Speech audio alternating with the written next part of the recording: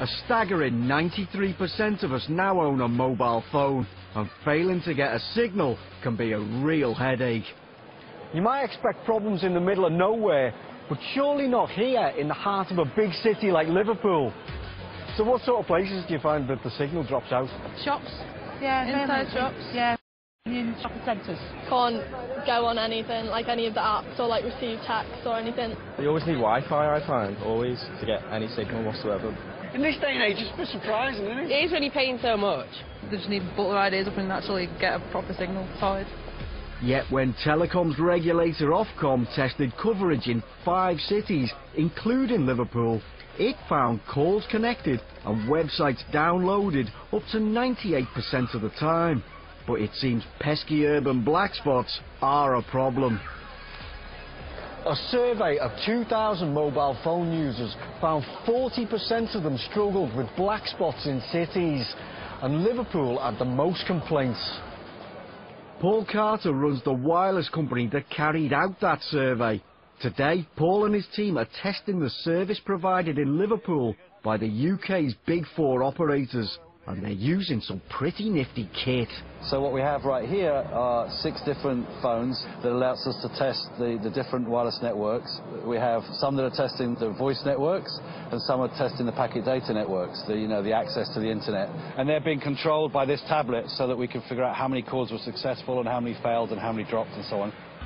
Up to 16% of the time, the researchers found they were in areas of poor or no coverage, and the worst black spots were found at some of Liverpool's main train stations, its most popular tourist spots, and inside some of its shopping centres. How's the signal looking? The signal level has dropped quite dramatically, um, and the last test that we just did failed, so very poor coverage because it, it just wasn't able to set up that call. We're right in the middle of the city centre, really. You wouldn't expect that, would you? Well, it's, it's a bit of a challenge because you're reliant on a cell site transmitting from some rooftop around here, and it's probably just the, the location here is in a dead zone, so it's, it's the furthest away from any of the surrounding cell sites. There are free Wi-Fi hotspots around the city, but that means the hassle of logging on. So why can't we have consistent mobile phone coverage?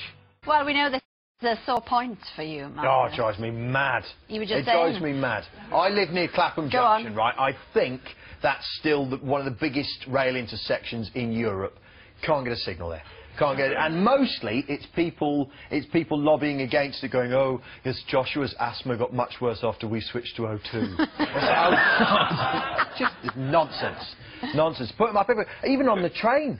Can't get them on, No. on, on- They say there's Wi-Fi on the train, but it's basically information about No about trains have why proper you're delayed. Wi-Fi. No, exactly. Hmm. I just got back from Vietnam. Right, I rode 500 kilometres on a motorbike through the Central Highlands. Coverage everywhere. Everywhere. Because the willingness was there. I mean, in fairness, they have a communist government, so they can more or less do what they want. There you ours go. ours There you do go. have to sort of consult people on some stuff.